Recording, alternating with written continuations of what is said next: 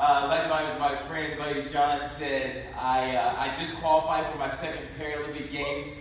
So I'll be heading to Paris. I'm going be flying out tonight, right after this event.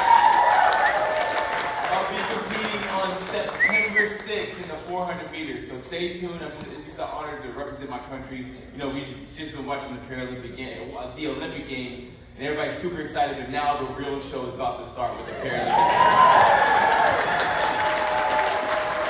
So many amazing disabled athletes that's overcoming their adversities and their challenges to show the world what you truly can do with a disability. So I'm super excited to be a part of that. Uh, I'm super excited to be here. Quick story, it's so funny. Um, I remember one of my, my, my first races, I just got started running and I was running around the corner and, and, and over the, the, the intercom and the speaker I hear Blake Leeper running around the corner looking good and I was like, is, is that God? But no, it was, it was John just commentating. And just his voice, and he's been a part of my life and around for such a long time. He's been like a big brother to me. I've looked up to him not only on the track of his track accomplishments, but off the track too as well. Um, so I just had to take that moment and say, I love you, John, man. I just, thanks for everything. I appreciate it. So, I don't have much time, but I, I love to talk about my story, about overcoming adversity, some valuable life lessons that I've learned that you probably too learned as well. So I'm, I'm, I'm, I'm, maybe not saying anything new today. I'm just here to confirm it. I'm just here to give you confirmation of some of the things that you might be experiencing in your life, that you might be going through, whether it's today, whether it's tomorrow, or the next day. And hope you remember some of the messages and the words that I speak to you today that you can use them. Um, when I start my story, I like to start the, from the day that I was born, August 31st, 1989. You see a picture of me and my mother. I, I, I think about you know, the day that I was born, they rushed me out the room. I was born with congenital birth defect, fibula hemimelia. And, and, and, and for the parents that's in the room, or, or you have nieces or, or, or little cousins that was born, I, I have a four-year-old daughter myself, and I just want to say I'm extremely tired, guys. This is ridiculous. oh my gosh. She wakes up in the morning, uh, she grabs my legs, hands them to me, and then bosses me around. So I gotta figure that out. Like, this is ridiculous. But I think about the day that she was born, and I didn't care if she was a girl or she was a boy. I was, I was hoping for a, a, healthy baby. And I think about the day that my, my parents were born. And unfortunately, they, they wasn't hit with that news. I'm sorry, Mr. and Mrs. Leeper, but your baby boy Blake is born missing both of his legs. Um, he, he's, he's, missing both his legs below the knee. Um, you guys are going to experience a very, very difficult life having a, a disabled child. Um, it's going to be rough. It's going to be tough.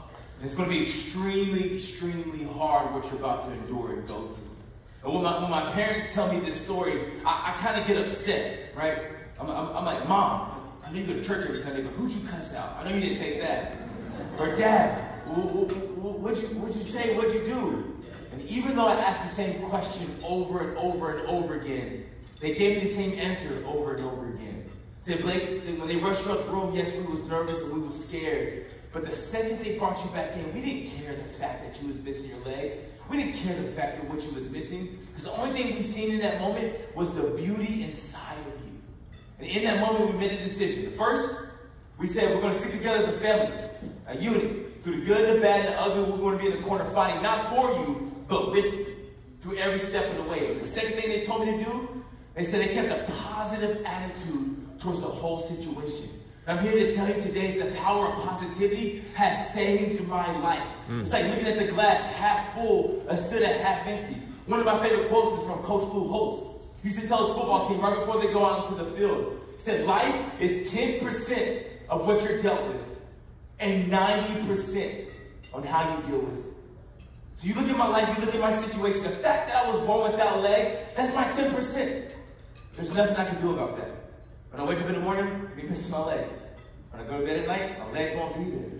But that's only 10% of who I am as an individual. That does not define me who I am. So that means I still have 90% to show the world what I truly can do. That means I have 90% to wake up each and every day, put one leg on at a time, and go out there and attack the world. You know, every, every morning my mom, she used to wake up in, in my room at 6.30 in the morning. She'd knock my door down at 6.30. And Blake, Blake, you have a disability. And I'm like, Mom, relax, it's 6.30. Can you chill for a second? But then she will follow up and say, but you have a thousand other abilities that make you a special person.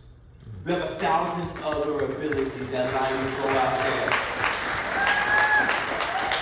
I just wish you would give me breakfast or something before she just starts yelling at me.